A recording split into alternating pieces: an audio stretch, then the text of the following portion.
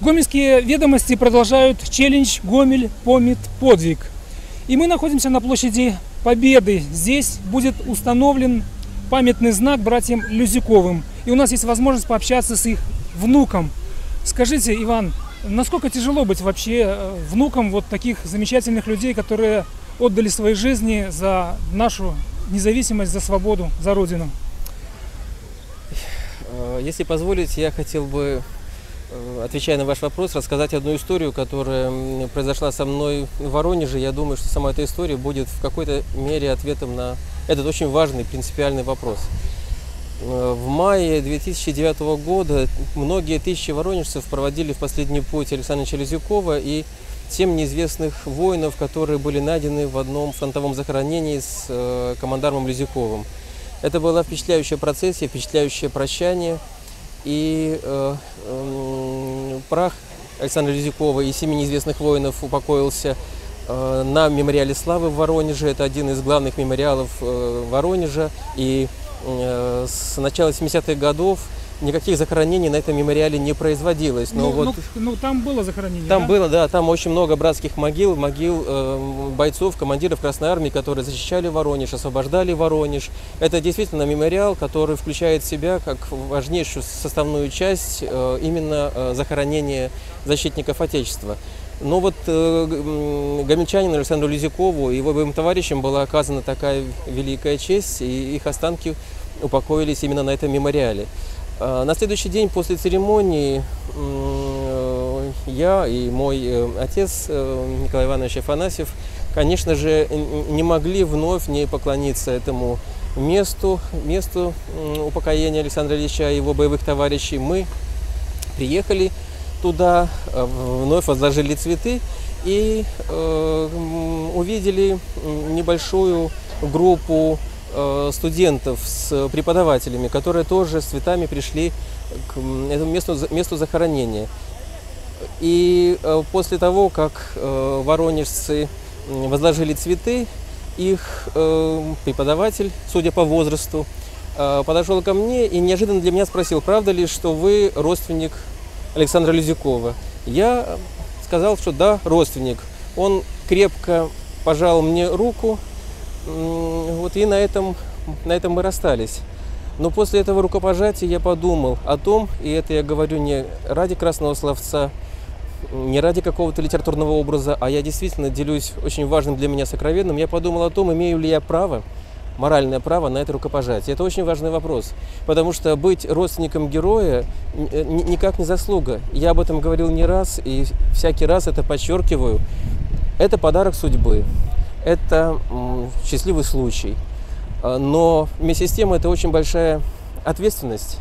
И э, своим делом, а не только кровным родством, нужно заслужить или оправдать право на такое рукопожатие. Иван Николаевич, если мы вернемся в юность, в детство вообще, когда вы узнали о том, что вот у вас такие славные предки? Э, С самого детства, ну, наверное, как помню себя, так и узнал, потому что э, ну, бабушка была сестрой э, братьев Лизюковых. Они все трое воспитывались после того, как эм, эм, их мама умерла, воспитывались вместе с бабушкой в нашей, в нашей семье, в семье бабушки. И поэтому, как мы Бабушка их называла Саша, Женя, Петя. Для нас, для меня дядя Саша, дя- дядя Петя, дядя Женя, это были близкие люди. То есть пе- первое, э, первое знакомство с Лизюковыми состоялось как знакомство прежде всего с эм, родными людьми, прежде всего.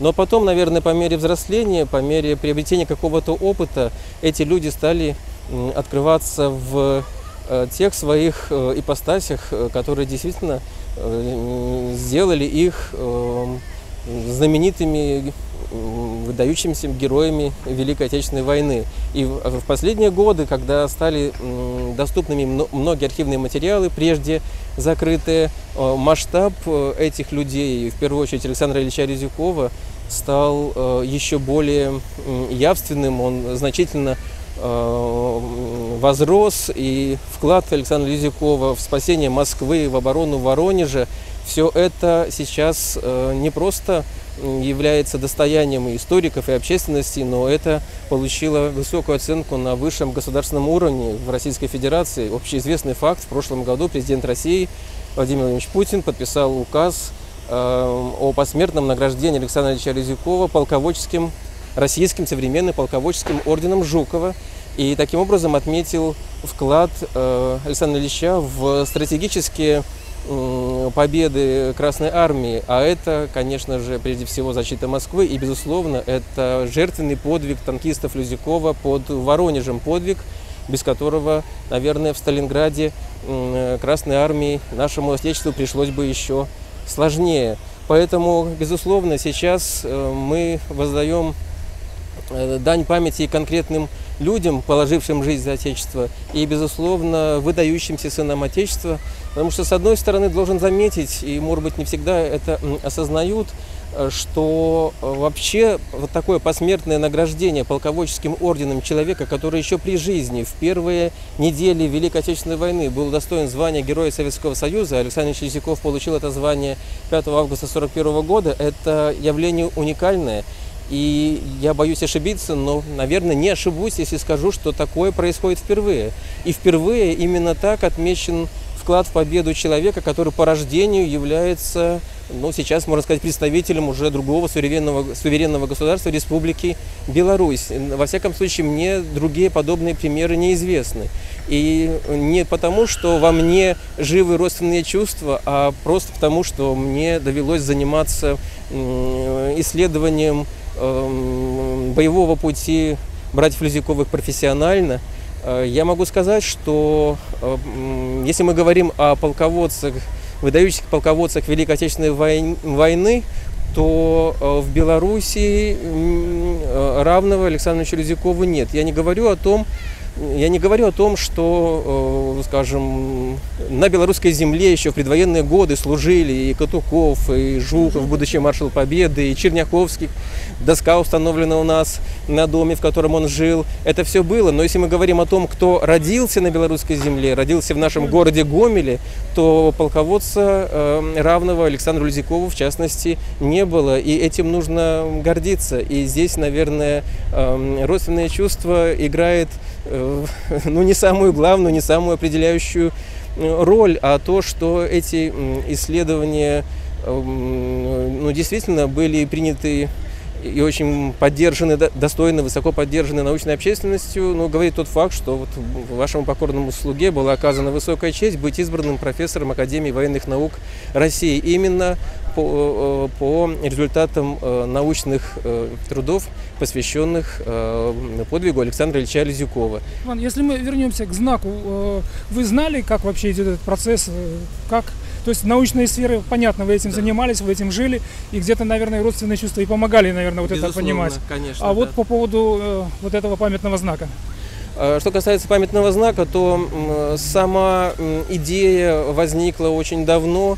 И я сейчас с благодарностью вспоминаю тех э, гомельчан, знаменитых наших почетных граждан города Гомеля, Сергея Павловича Купцова, Купцова, Софью Васильевну Осипкову, многих других, кого просто не могу сейчас назвать, просто не представляется возможным всех перечислить, но тогда еще живших, здравствовавших ветеранов Великой Отечественной, фронтовиков, партизан и подпольщиков, которые эту идею вынашивали очень давно и эту идею пытались эм, воплотить, но в силу разных причин э, не сложилось.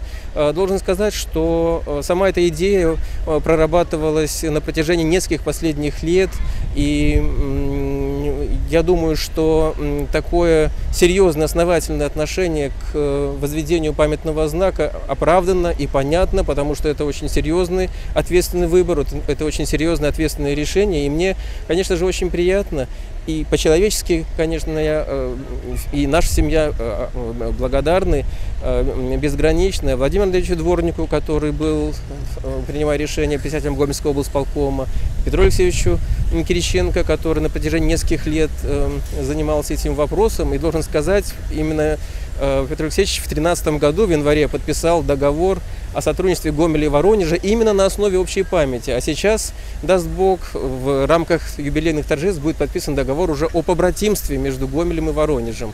Поэтому память, э, эта память очень живая, и такой она и должна быть прежде всего. Так что вопрос прорабатывался очень-очень основательно. Вы видели проект, э, вообще вот этот план, схему? Да, проект мы видели. Нам э, скульптор Валерий Андреевич Кондратенко, известный э, мастер, э, который э, военную тему воспринимает не только профессионально, как художник с огромным-огромным опытом, но и как человек, который сам вырос в семье военных людей. И он относится к тому поколению, в котором эта память никогда не угасала, она всегда живет, и она очень остро существует. И, конечно, нас знакомили с м, э, макетом памятника, с эскизом. Вот, и мы поддержали, одобрили эту концепцию, хотя, конечно же, в таких вопросах главное слово остается За профессионалами, за автором. Художественный совет, областной художественный совет, прежде всего, это его прерогатива, он рассматривал э, очень тщательно, очень скрупулезно представленный макет. И здесь наши э, мнения, наши взгляды, конечно же, совпали, что тоже очень радует.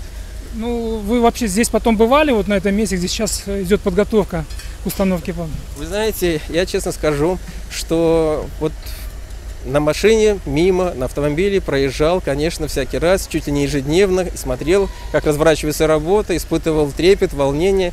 Но, честно признаюсь, э, вот так вблизи эту работу я могу увидеть, могу за ней наблюдать только сейчас. Потому что что-то внутри сдерживало меня. Вот, э, мне, мне казалось, э, что э, ну, нужно проявить какой-то такт и что-то, вы знаете, такое сакральное было во всем этом действии, что не позволяло к нему просто п- подойти с каким-то обычным э, житейским обыденным любопытством. Хотя, конечно, чувство, которое во мне живет и в наших э, близких, э, любопытством не назовешь, но что-то сдерживало от того, чтобы приблизиться к этому месту так, как благодаря вам я приблизился сейчас. И за это вам тоже большое спасибо. И последний вопрос, вот э, с какими чувствами вы вообще придете на открытие? Вот как-то вот вы об этом думали?